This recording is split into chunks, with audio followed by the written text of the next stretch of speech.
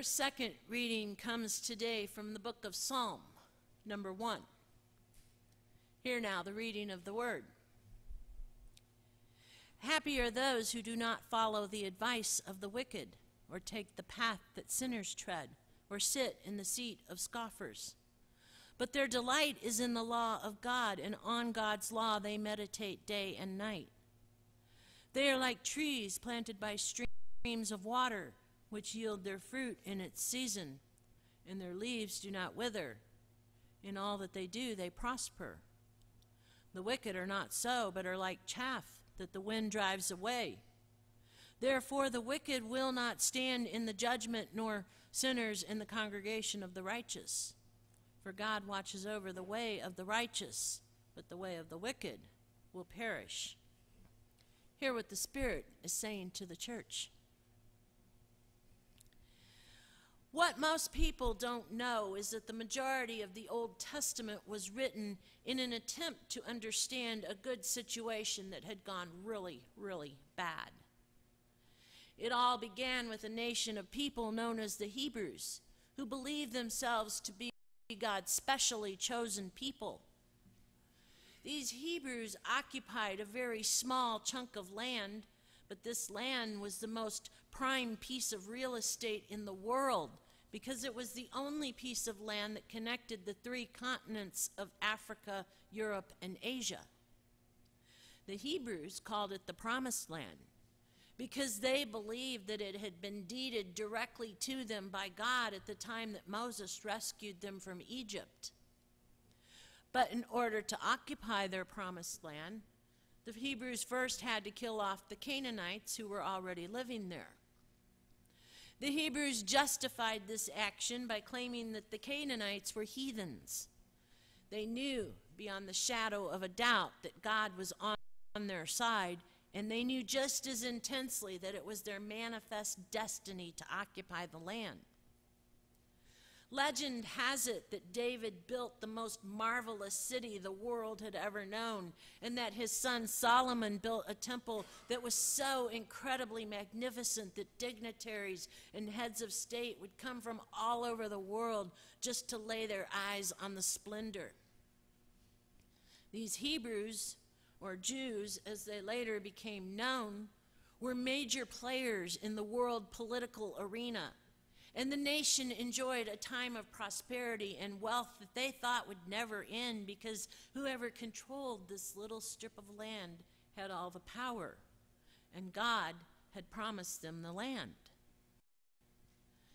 But as we know, it all ended in disaster for Israel. When King Solomon died, the northern tribes refused to submit to his son and they revolted which led to two kingdoms of Hebrews Israel in the north and Judah in the south. These kingdoms remained separate states for a while, but as history has proven time and again, a nation divided cannot stand. And this particular tiny nation, situated as it was, was of the utmost commercial and military importance to all of the superpowers that surrounded it. By 586 BCE, the Jewish kingdom had been completely destroyed. And it seemed that the promises made to the Hebrews had been broken and completely forgotten by God. The people struggled to understand why. And after a long period of soul searching, the Old Testament was written to provide not only a theological explanation for the destruction of the kingdom, but also some instruction on how to move forward and avoid making those same mistakes again. Now, if you're going to compile a collection of poetry to point people in the direction of righteousness, it's only fitting to begin with a poem that will set the overall tone. And Psalm 1 fits the bill nicely by opening with the word happy reader is drawn in immediately as they seek to discover how to be one of the happy ones. And what is happy?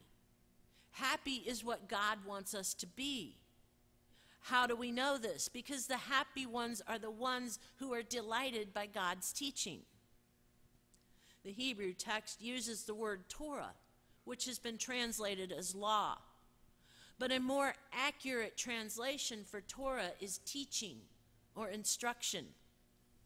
And so Psalm 1 is an invitation to be open to God's instruction and to the reality of God's reign in the world.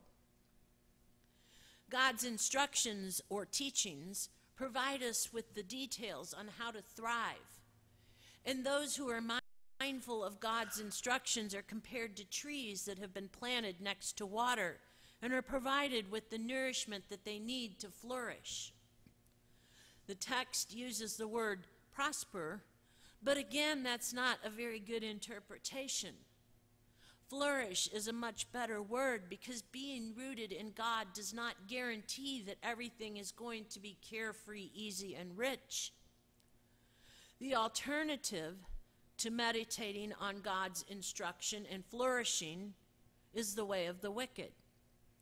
And while the wicked certainly seek to be carefree, easy, and rich, instead they wind up being temporary, like dandelion fuzzies. A clear choice is being offered in this psalm, and the consequences are not the least bit vague.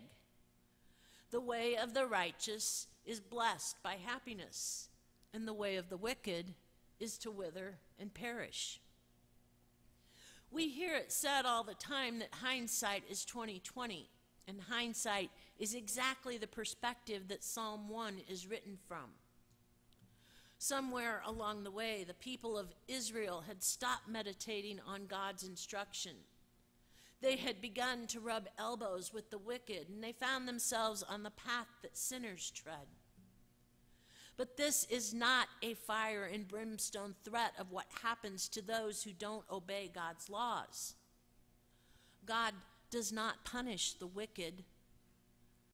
By their own choice, the wicked separate themselves from God and through the exile. That was exactly what the Jews learned. So, what constitutes true happiness in our culture? 2,500 years after the first psalm, here we are still thinking and talking about happiness. There's even an actual science that studies happiness, and the topic has its own journal of happiness studies. The advice of the wicked tells us that happiness is found through satisfying our wants. And of course, we'll do anything to pad ourselves from unpleasantness, so we're always buying more stuff. And then we have to protect that stuff. And so we're always at war with each other. Commercials and billboards bombard us with the message that happiness comes from pleasure. And then if we want to be happy, all the time, then we must dedicate ourselves to seeking pleasure. Our culture seems to define happiness as an experience that blows your mind. And if you don't routinely feel as though you're madly pulsing with a billion watts of wow, well, then you're falling woefully short. Even churches have jumped on the bandwagon of showmanship and promises of wow just so that they can fill seats. The times might be different, but in a lot of ways, things are the same as when the psalm was written. We claim to be one nation under God. We believe that we are God's chosen people. Yet, how often do we really spend time meditating on God's instruction? For the psalmist, the primary subject was never the human being, but God. Happiness, according to the Bible, is not getting what we want. It's justice and righteousness. And maybe our task is not so much to seek happiness as it is to stop making ourselves unhappy by constantly trying to satisfy our wants rather than placing our trust in God. It's no accident that this most sacred hymnal of ancient Israel opens with a poem about ethics lifestyle, and decisions. The goal is a changed life, and before we even bother to start praying or worshiping, God requires a black and white decision Do you walk with the wicked, or do you delight in my instruction?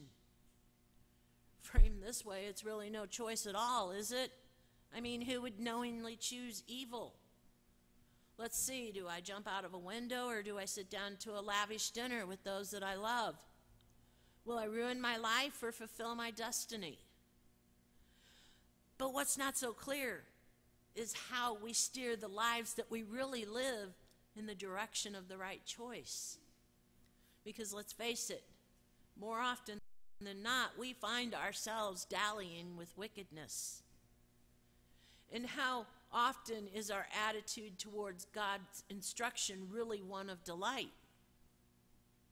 Part of what makes wicked wicked is that it's so darn sneaky. It would be a whole lot easier if the devil wore a red suit and carried a pitchfork. But the devil dresses up like an angel of light and promises the sun and the moon and the stars. The good life defined by society mimics the good life that God offers, yet lures us into an empty life that pays little attention to God and it leaves us hollow inside.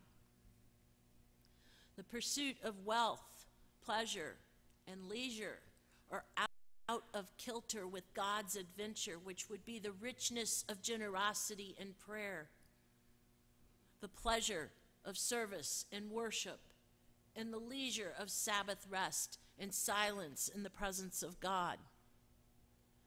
Happy are those who delight in the law of God. Some scholars like to translate happy as blessed because our frantic quest for happiness can deflect us from God. My psalm professor, Clint McCann, put it well when he said, Happiness does not involve getting what one wants, rather, it comes from being connected to the source of life. Psalm 1 tells us that the instruction of God is the spring that nourishes the life of the believer. The same Christ who said, If anyone thirsts, let them come to me and drink, also said, It is the scriptures that bear witness to me. And as Jesus would summarize later, happiness derives from discerning what it means at all times and in all places to love the Lord your God with all your heart, with all your soul, and with all your mind, and your neighbor as yourself. So, on a practical level, how do we become connected to the source of life? We block out time for prayer. We don't miss worship. And we become daily students of Scripture. But it's more than that. Psalm 1 says that the happy one is the one who meditates on God's instruction day and night. Now, obviously, we can't stay up all night, every night, reading the Bible. We have lives to live and families to raise. But we can make God a constant presence in our lives by practicing a devotional regime that is essential as brushing our teeth. Maybe we place little reminders like a cross or a printed prayer in places where we're sure to see them. The Christian life is not about pretending to be somebody that we're not, but rather discovering who it is that we really are and then being that person authentically and passionately. Thomas Merton said, A tree gives glory to God by being a tree. It consents to his creative love. It expresses an idea which is in God's mind. So the more a tree is like itself, the more it is like God. Our lives are not our own. We depend on the sun, the rain, and the grace of God, which we do not control but only soak up as a precious gift. We live in the light, but our roots go down deep where it's dark. To be holy is not to grit our teeth and carefully try to do what God requires, we may grit our teeth. We do try hard, but we're not capable of doing what it is that God wants of us because a changed life is a gift of God's Spirit. Paul described this new life, the life for which we were made, as the fruit of the Spirit not the fruit of my good intentions. The fruit of the Spirit is love, joy, peace, patience, kindness, generosity, faithfulness, gentleness, and self control. So feel your arms stretched upward, feel your roots running deep, and be trees giving glory to God, swayed only by the wind of the Spirit and watered by the grace of baptism. Amen.